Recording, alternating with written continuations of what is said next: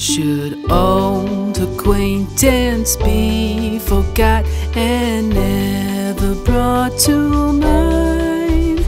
Should old acquaintance be forgot and auld lang syne?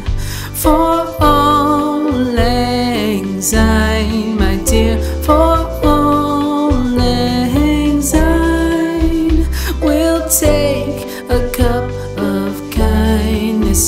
for